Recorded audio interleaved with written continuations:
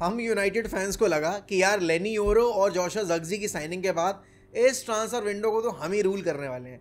लेकिन हकीकत हमारे सामने आ चुकी है, यहाँ पर यूनाइटेड दो साइनिंग करने के अलावा किसी तीसरी साइनिंग के बारे में अभी सोच नहीं रही मतलब हेयर वी गो अभी तक हमने हासिल नहीं किया है। तो वहीं दूसरी तरफ़ आप देखो कि उनका सबसे बड़ा राइवल अपने सबसे इंपॉर्टेंट पोजीशन को स्ट्रॉन्ग करने वाला है एक बहुत ही बेहतरीन प्लेयर के साथ और जिसको हम यहाँ पर अपने क्लब में आते देखने की उम्मीद लगाए बैठे थे, जिसको यहाँ पर बार्सिलोना काफ़ी टाइम से मॉनिटर कर रही है। And yes I am talking about Martin Zubimendi अगर हम डेविड ऑनस्टीन की रिपोर्ट्स की माने तो यहाँ पर बार्सिलोना को बेचने के लिए रियाल सोसेदाद इस वक्त पे तैयार हो चुका है। बस जो ट्रांसफ़र अमाउंट है, वो नेगोशिएट होना बाकी है। और जैसा कि मैंने आज से दो हफ़्ते पहले बोला भी था कि ऐसा कहीं गिवन रूल नहीं है। कि मार्टिन जूबी मेंडी यहाँ पर अपने जो करेंट क्लब है, उसको छोड़ के जाएँगे नहीं किसी और क्लब में। Is just that he doesn't want to leave for a club within within आपकी ललीगा बिकॉज़ ये सीधा सीधा आपके जो सोसेदात का सीज़न होगा, उसको हैम्पर करने वाला था। लेकिन डेफिनेटली यहाँ पर लिवरपूल इस नेगोशिएशन में बहुत आगे पहुँच चुकी है, और पता है लिवरपूल ने बहुत टाइम वेट किया इस ट्रांसफ़र के लिए, क्योंकि आप देखोगे यूनाइटेड का जब पैसा आप, एक हद तक आप देखते हो कि एग्जॉस्ट हो चुका है, और जब तक वो प्लेयर सेल नहीं करने तब तक वो नया प्लेयर लेकर भी नहीं आ पाएँगे। और दूसरी तरफ़ आप देखोगे बार्सिलोना यहाँ पर अभी उस पोजीशन के बारे में सोच नहीं रही है। उनकी प्रायोरिटी डैनी ऑलमो और निको विलियम्स थे और इसी वजह से यहाँ पर लिवरपूल के लिए ये पूरी डील आसान हो चुकी है। और इतना सबको पता था, माइकल एडवर्ड्स के आने के बाद लिवरपूल का जो ट्रांसफ़र स्ट्रक्चर होगा वो बहुत बेटर होने वाला है। अब देखो, आर्ने स्लॉट का ये पहला सीज़न है, उनको डेफिनेटली नंबर सिक्स चाहिए।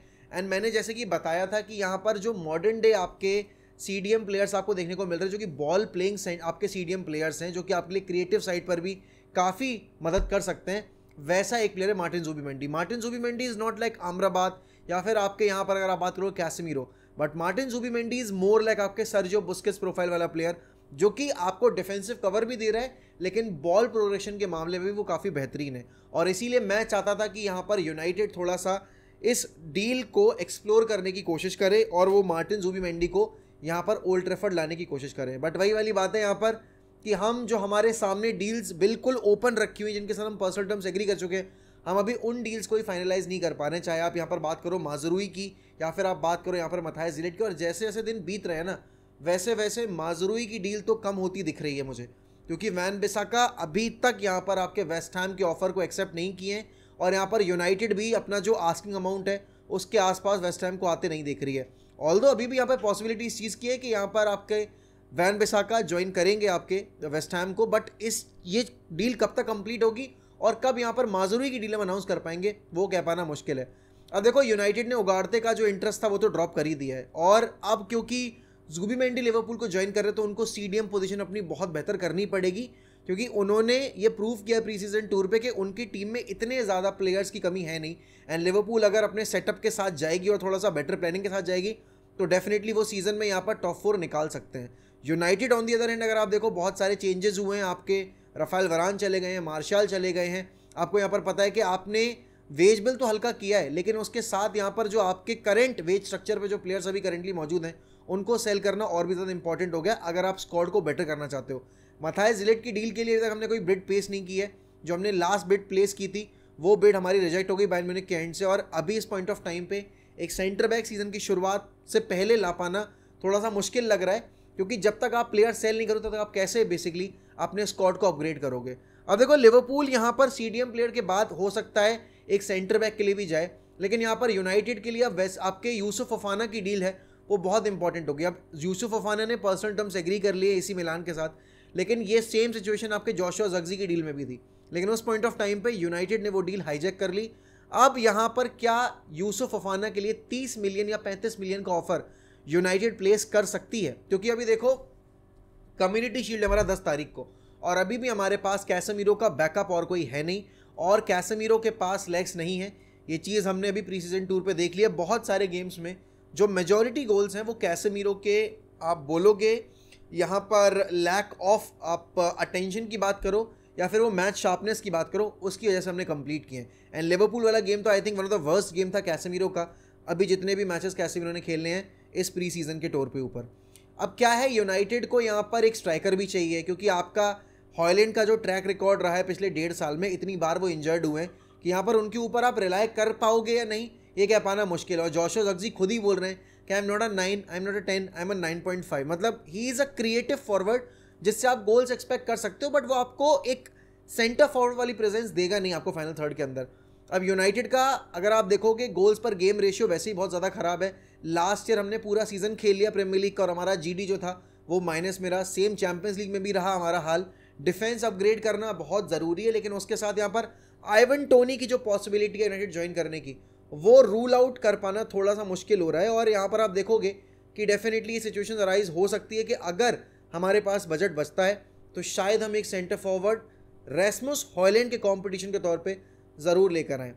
लेकिन वही कहते हैं ना कि भाई कभी कभी जो एक तरफा आशिकी होती है, वो थोड़ी महँगी पड़ जाती है। यही अभी हाल यूनाइटेड के साथ है और एड टेनिक के साथ है। आप देखो यहाँ पर फ्रेंकी डियोंग के केस में हम पिछले दो साल से इंटरेस्टेड हैं। लेकिन फ्रेंकी डियोंग को अभी तक क्लब में लेकर नहीं आ पाए। और कल, ठीक है, भले ही वो यहाँ पर आपकी बहुत ही लीस्ट रिलायबल सोर्सेज से न्यूज़ आई है, लेकिन ये न्यूज़ तो आई है कि यहाँ पर यूनाइटेड फ्रेंकी डियोंग के लिए जा सकती है। वंस दिल साइंस अ प्लेयर अब मुझे ये समझ में नहीं आ रहा, अभी तक आपने एरिक्सन को बेचा नहीं है। आपको मेसन माउंट को भी यूज़ करना है। आपने भी स्कॉट मैकटोमने की डील भी फॉरवर्ड नहीं की। और यहाँ पर फुलम के एंड से अब कोई नया प्रपोजल नहीं आएगा, ऐसा यहाँ पर रिपोर्टर्स रिपोर्ट कर रहे हैं। तो अगर यहाँ पर आपके पास ऑलरेडी मिडफील्डर्स हैं तो फ्रेंकी डियोंग की साइनिंग किस तरीके से सेंस बना रही है? और यहाँ पर आप देखो तो फ्रेंकी डियोंग का जो करेंट वेज है, वो है थर्टी सेवन मिलियन का पर ईयर का।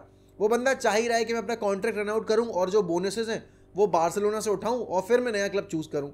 यहाँ पर बार्सिलोना को चाहिए वो पैसा और बार्सिलोना डेफिनेटली मार्केट में अगर आती है न्यूज़ कि भैया फ्रेंकी डियोंग के लिए बायर्स हैं, इस बार बार्सिलोना शायद वो गैम्बल ना खेले कि भाई रोक लेते हैं फ़ैन फेवरेट है, ये है, वो है।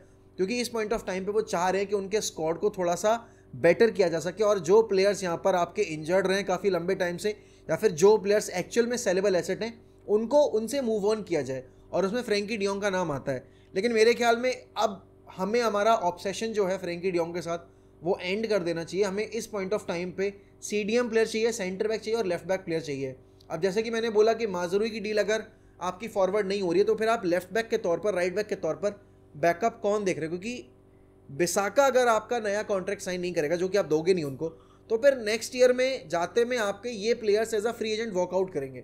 तो इस साल में आप अगर देख रहे हो कि आपके पास है अपॉर्चुनिटी जहाँ पर चेल्सी थोड़ी सी वीक है, आपकी लिवरपूल भी नए मैनेजर के साथ सीज़न में जा रही है, वहाँ पर आपके पास मौका है। इवन एस्टन यहाँ पर आपकी चैंपियंस लीग फुटबॉल खेलेगी तो उनके ऊपर भी प्रेशर होगा। जैसे लास्ट ईयर न्यू कासल के ऊपर प्रेशर बना था। तो यहाँ पर आपके पास अच्छा मौका है कि आप उस गैप को क्लोज करो और टॉप फोर के लिए नहीं टॉप थ्री के लिए फाइट करना शुरू करो।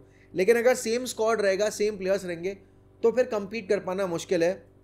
आप देखो यहाँ पर चेल्सी ने भी टू मेनी यंगस्टर्स अपनी टीम में शामिल कर रखे हैं। और देखो यार, इतने सारे यंगस्टर्स जब हो जाते हैं तो उसमें फिर आपके पास वो लीडरशिप क्वालिटी नहीं दिखती। और चेल्सी का सबसे बड़ा कंसर्न यही है कि पहली बात तो पूरा यंग स्क्वाड है और बहुत बड़ा स्क्वाड है, जिसमें से आपको प्लेयर्स रोटेट भी करने पड़ेंगे, क्योंकि आपने इतने प्लेयर्स को फ़र्स्ट टीम फुटबॉल प्रॉमिस किया है। तो वहाँ पर आपको देखना पड़ेगा और आप एनजो मरेस्का से पहले सीज़न में कितनी उम्मीद लगा सकते हो? देखो कॉन्फ्रेंस लीग की उम्मीद ज़रूर लगाएँगे चेल्सी फैंस लेकिन अगर रियलिस्टिक वे में देखा जाए तो आप ट्रॉफीज एज सच डिमांड नहीं कर सकते पहले सीज़न में अदर देन आपकी जो कॉन्फ्रेंस लीग है। यहाँ पर अगर आप बात करोगे बार्सिलोना की तो बार्सिलोना ने डैनी ऑल्मो की साइनिंग कंप्लीट कर ली है। आज उनके मेडिकल वगैरह कंफर्म हो जाएँगे एंड देन आपको ऑफिशियल स्टेटमेंट भी आता दिख सकता है। But at the same time अगर मैं यहाँ पर देखूँ ना तो बार्सिलोना को कायदे में देखा जाए तो निको विलियम्स की साइनिंग करनी चाहिए थी नॉट डैनी ऑल्मो की, क्योंकि डैनी ऑल्मो आपके प्लेयर वो हैं जो कि आपकी प्रोफ़ाइल में ऑलरेडी एग्जिस्ट करते हैं, और सारे प्लेयर्स लेकिन निको विलियम्स आपके लिए पॉइंट ऑफ़ डिफरेंस बन सकते थे, क्योंकि आपकी जो विंग प्ले है, वो थोड़ी वीक है, और उस केस में यहाँ पर डेफिनेटली आप बोलोगे नीको विलियम्स आपको काफ़ी हेल्प करने वाले थे। बट नीको विलियम्स यहाँ पर रिपोर्टर्स रिपोर्ट कर रहे हैं he is much closer to Barcelona than to stay at Athletic Bilbao अब उसके लिए बार्सलोना को पहले प्लेयर्स रिलीज़ करने पड़ेंगे प्लेयर्स यहाँ पर बेचने पड़ेंगे, और वो फिर फ़ैन बेस के अगेंस्ट जाने वाली बात होगी। अगर आप यहाँ पर कॉल लोगे कि भाई आपको यहाँ पर सेल करना है, आपके फ्रेंकी डियोंग जैसे प्लेयर को। बात अगर मैं करूँ यहाँ पर यूनाइटेड की वापस से तो देखो यार एंट्री में इंटरेस्टेड दिख रही है अल नसर लेकिन एंट्री यहाँ पर उनके एजेंट बोल चुके that he is focused on this new season and he wants to be part of United लेकिन यहाँ पर यही वाली बात है, भाई मैनेजमेंट का कॉल होना चाहिए। सिटी वहाँ पर अलवारिस बेच रही है। अलवारिस को बेचने में वो दो बार सोच नहीं रहे, उनको पैसा भी मिल रहा है, वो भी बात है। यहाँ पर हम मैगवायर मैकटॉमने से मूव ऑन करने को तैयार नहीं है। इतने साल लगातार इनको कैरी किया है हमने इन्होंने हेल्प किया है टीम को। लेकिन अगर आप वाकई में सीरियस क्लब हो, अगर आप वाकई में ट्रॉफीज जीतना चाहते हो तो आपको इन प्लेयर से मूव ऑन करना पड़ेगा। तो ये बहुत डिफ़िकल्ट पिल है टू सॉलो कि यहाँ पर लिवरपूल इतने टाइम मार्केट में शांत रही और उसके बावजूद उनकी विंडो हमसे बेटर हो सकती है।